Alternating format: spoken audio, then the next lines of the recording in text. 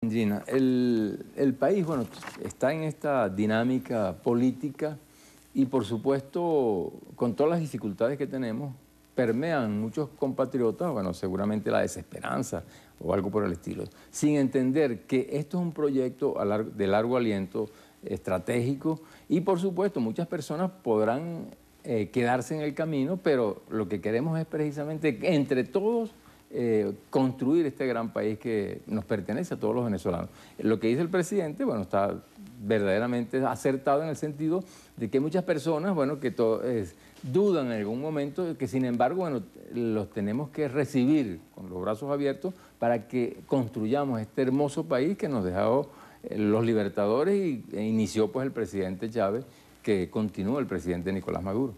En el marco de una crisis económica, ¿cómo se hace política cuando sobre todo se ha cuestionado las lealtades en el seno del oficialismo en función a lo que algunos eh, sectores de la oposición califican como clientelismo político? Mira, lo de la crisis económica no es solamente para Venezuela. El planeta tiene una severa crisis, una profunda crisis eh, económica. Vemos cómo está Europa, por ejemplo, todos los países europeos están prácticamente en recesión. Alemania, que es la única economía eh, que de alguna manera tiene resultados, este año apenas va a crecer. O sea que esta crisis permea a todo el planeta. Nosotros no estamos eh, ajenos a eso. Y, en este momento mucho más pues con la cuestión de, los precios del petróleo, la baja de los precios del petróleo, producto, producto de una cantidad de situaciones en el mundo por esa recesión económica y por una cantidad de, elementos que se han conjugado desde el punto de, vista geopolítico.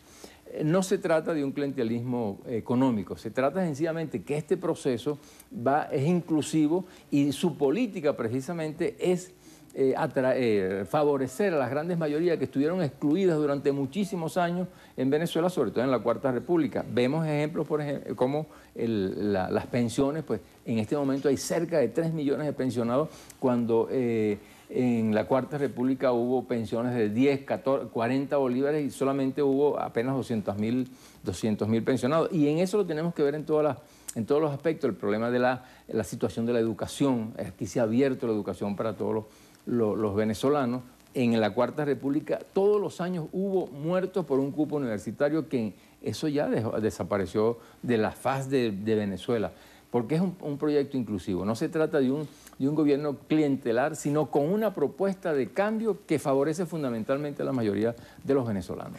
En el marco de, los señalamientos que hacía ayer el presidente de la República, también destacaba que hay un bloqueo financiero contra el país por razones políticas cómo superar un bloqueo financiero y muchas personas cuando, cuando escuchan la palabra bloqueo financiero, bloqueo económico, automáticamente piensan en Cuba. ¿Venezuela está preparada para resistir un bloqueo financiero? ¿Se trata de un bloqueo similar al que existe en Cuba? Mira, el problema cubano es, muy severo, muy profundo. Fue, se inició con la Guerra Fría. Eh, necesitaban pues, detener el avance social que había en Cuba en ese momento y le pusieron un bloqueo feroz que aún continúa y que, como vemos, la inmensa mayoría de los países que están en, la ONU eh, han rechazado ese bloqueo y sin embargo continúa. Venezuela tiene demasiadas potencialidades.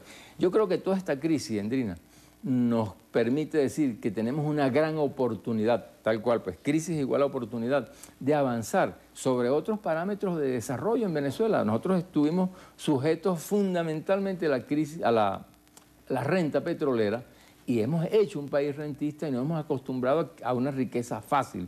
Porque dicen, bueno, Venezuela, aquí verdaderamente sale la riqueza de cualquier parte. Sin embargo, este problema que existe ahorita de recesión mundial nos obliga a, a lo interno fortalecer el aparato productivo nacional y avanzar hacia las exportaciones y crear realmente nuestra propia industria y limitar en lo máximo las importaciones que en este momento nos están acogotando con ese dólar ficticio que existe a nivel internacional.